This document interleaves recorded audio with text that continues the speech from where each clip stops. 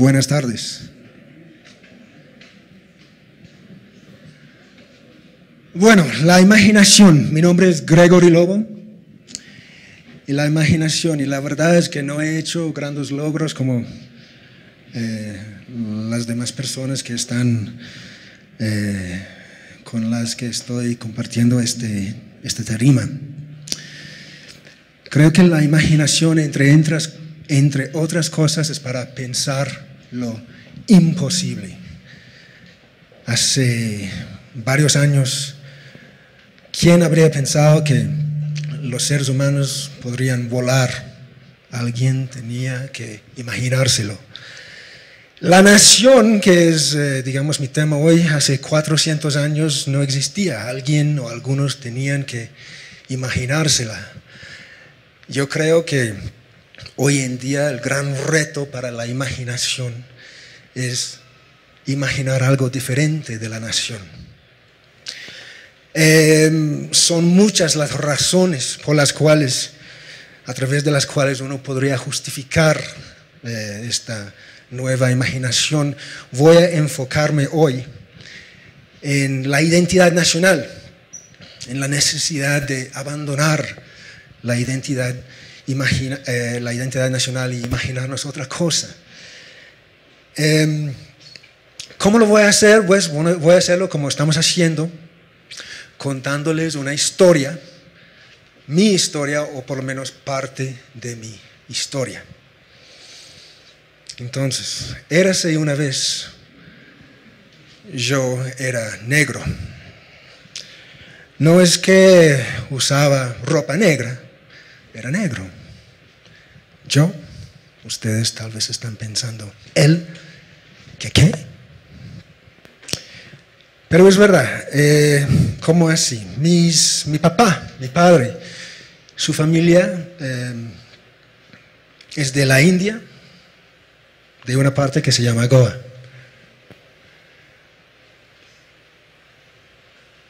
Eh, y es interesante que antes se mencionó Gandhi, ¿no? Gandhi quería que, nunca quiso que India fuera una nación, que Pakistán fuera una nación. Solo quería que los ingleses se fueran o nos fuéramos, porque yo soy inglés, creo que se me olvidó decírselo. Yo soy inglés, pero no soy, digamos, no aparezco a los ingleses, los estereotipos. Si les pregunto, si les pido que se imaginen un inglés, probablemente piensan en algo, alguien como David Beckham o Prince Harry tal vez. Em, ¿Por qué no aparezco al inglés típico de la imaginación? Por la Goa.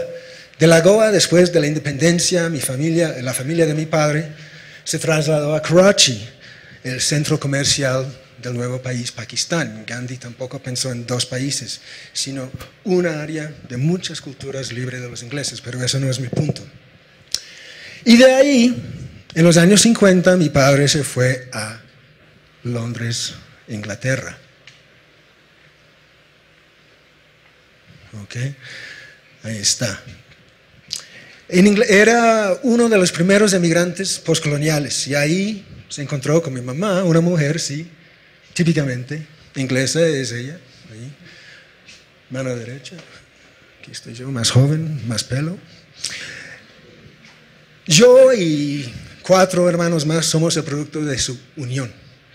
Por eso, pues no parezco tal vez tan inglés como, por ejemplo, la familia real.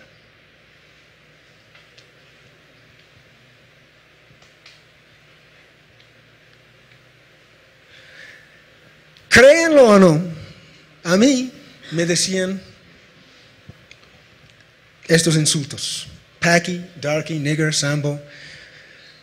En Inglaterra, en Londres, una zona bastante cosmopolita, en ese entonces.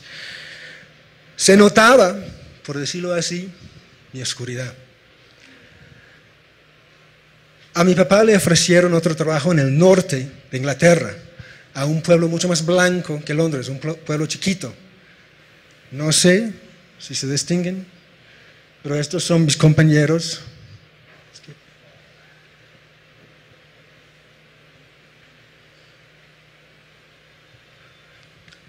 De, ese pueblo. Ahí los insultos, pues, seguían más intensos tal vez, y de ahí fuimos a los Estados Unidos. ¿Quién está haciendo? New Jersey. Yo voy a dejar de hacerlo porque no lo estoy haciendo bien. En New Jersey no era negro. En New Jersey más bien hablaban de un árabe o un speck o un Puerto Rican. Pero no un negro, por razones tal vez obvias. Y desde New Jersey fui a California. En California pensé yo que había perdido mi color. Porque en California pues siempre hace sol, todos andan bronceados. Entonces yo casi ando, está en el sol, está como al lado de la playa, le va bien. Pero a veces sí me decían, usted podría ser mexicano. Tal vez como piropo, yo no sé. Y de alguna manera, no sé cómo, llegué a Colombia. Todavía me pregunto. En Colombia me volví blanco.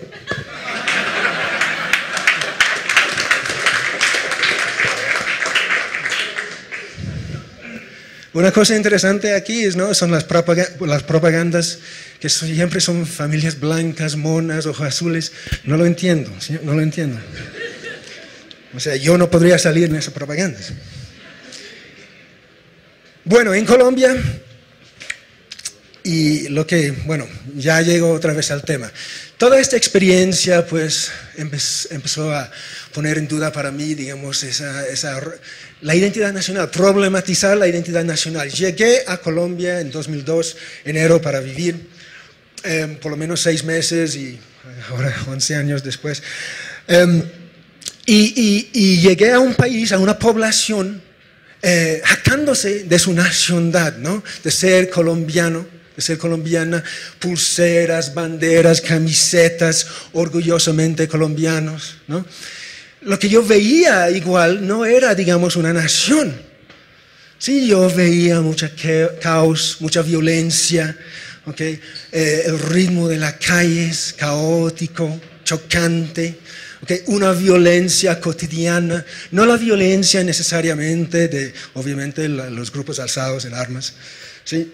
sino la violencia de, la, calle, del tráfico, de los otros choferes, del transmilenio, de las tiendas, no te dejan en paz mirando la mercancía, siempre están encima de uno diciéndose vaya o compre algo. ¿no?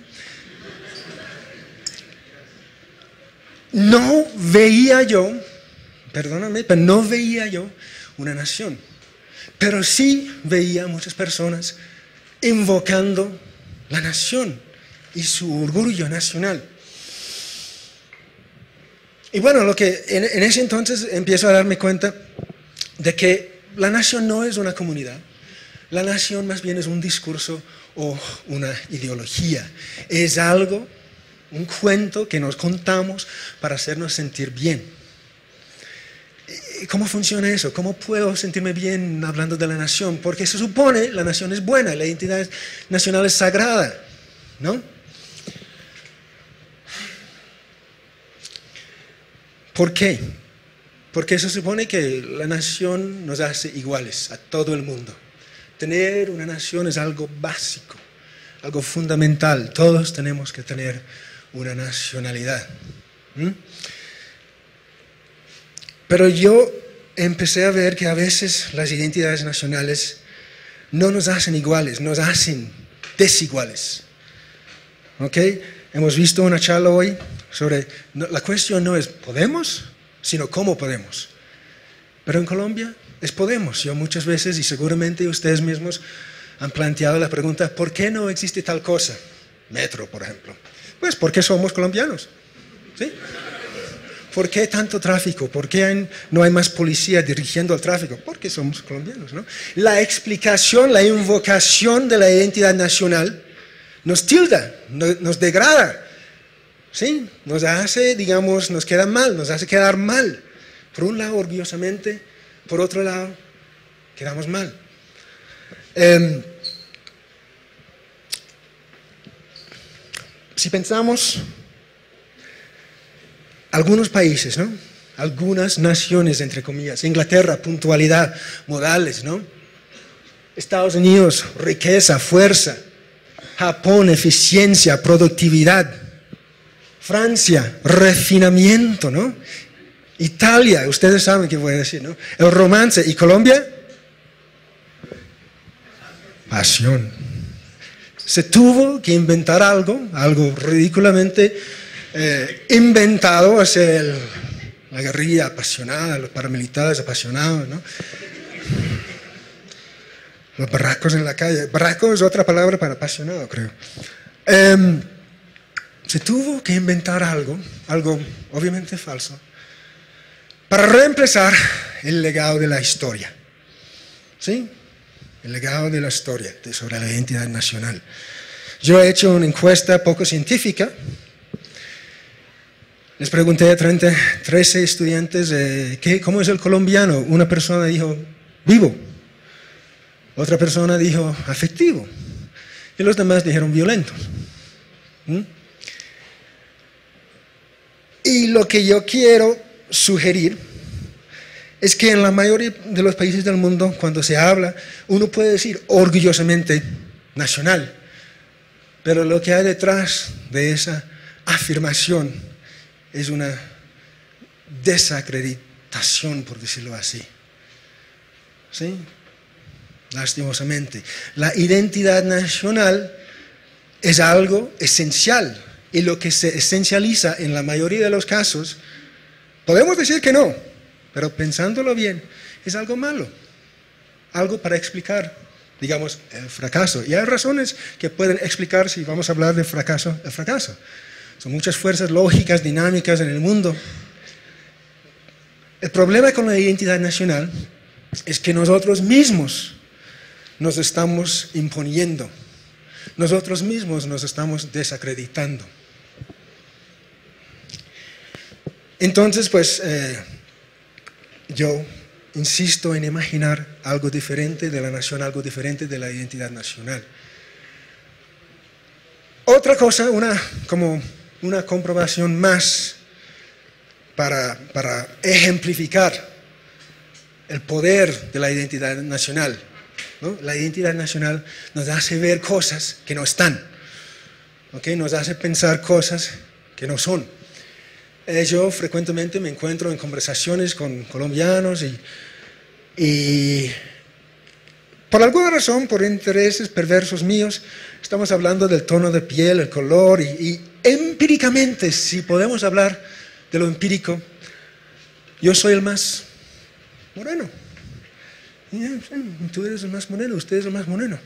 Pero yo soy inglés. Ah, no, usted es el más claro. Por ser inglés. Tengo una hija, pues recién no, 25 meses. Tiene el pelo bastante claro, viene de mi mamá. ¿okay? Dejé crecer mi pelo para que pudieran ver. Los amigos o los conocidos la ven y me ven y dicen, ah, su pelo es por usted. Mi pelo no es, pues tengo canas, pero mi pelo no es claro. Pero soy inglés. Entonces tengo que tener el pelo claro.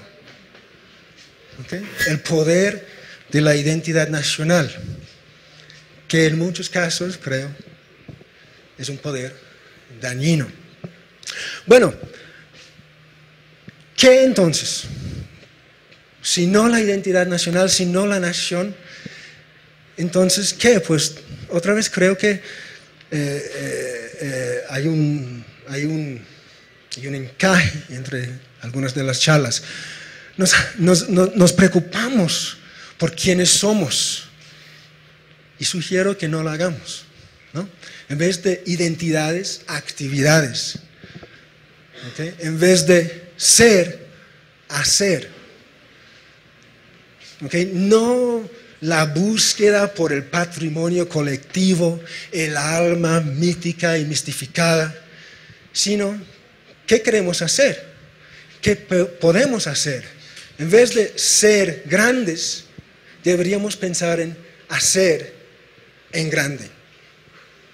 Gracias.